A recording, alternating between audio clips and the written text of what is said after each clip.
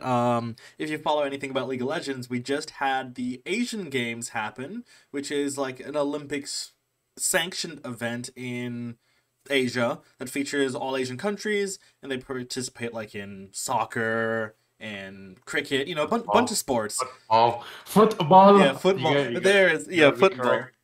Yeah, and uh. League was a gold medal event this time, and like many league fans, we were ch- cheering for Korea because our, our, our goat Faker was if he gets a gold medal, he's exempted from uh, his uh mandatory community slash military service in Korea. And little did we see, they they won.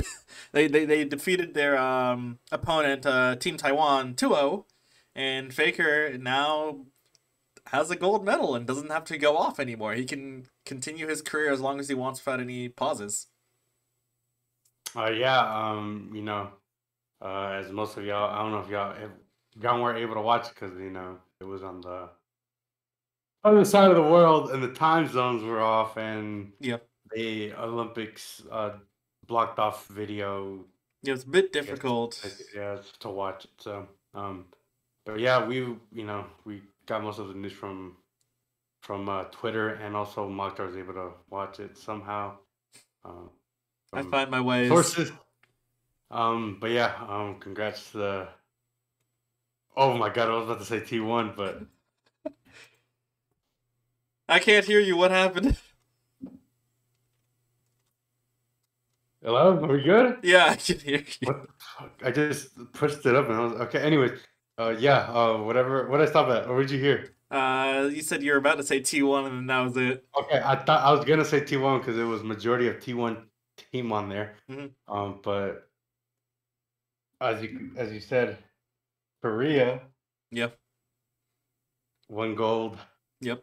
Um, those players are now exempt from military service because they have brought a gold medal back to their country, mm-hmm. and because of that prestigious thing, the country uh, pardons them for that um, service. So, yeah, so congrats to them, and then congrats to mainly esports in general for uh for having the them get into the Olympics. So, yep, it was a big win on the esports side too. So good to oh, see that we are now getting into parts of the world where we're now being involved into the Olympics. So that's a big win for the esports scene. So happy exactly. for that.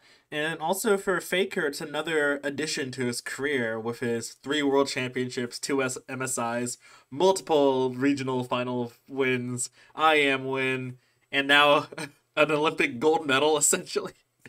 When you like, look up the goat of esports, he has he's now he has to be like there's at this point he he's won most all all uh, no one's got is close to him at this point. Um, I mean, I think I think what was like bothering him the most is the military service and like, you know, not knowing how long he had left, and then given this opportunity he had, you know, mm-hmm. he went with it, and he went all out on it. Mm-hmm. Um, and I'm guessing now he's happy, and now he can focus on uh, continuing on his career without a pause or not knowing if he's going to come back. Now he can now have his mind focused He's, he said he's feeling a lot better from his injury.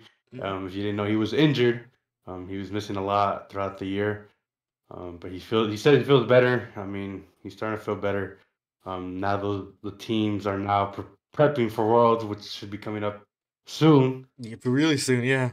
Maybe what two weeks, a week? Uh, it's like a week because the Worlds, uh, this year's World song comes out two days from when we're recording on Tuesday, and then World starts one week after that. So yeah just a week. So yeah, um, obviously they didn't have much time to celebrate. They have to go back, practice with the teams, get ready. Yep. Um, for the the biggest event of the year for them. Um, so yeah, um, congrats, like I said, to them, and congrats to the esports scene and all the other teams that participated in the Olympics. No, yeah, that congrats to all the teams, and of course, congrats to Team Korea for winning the Asian Games League Legends tournament.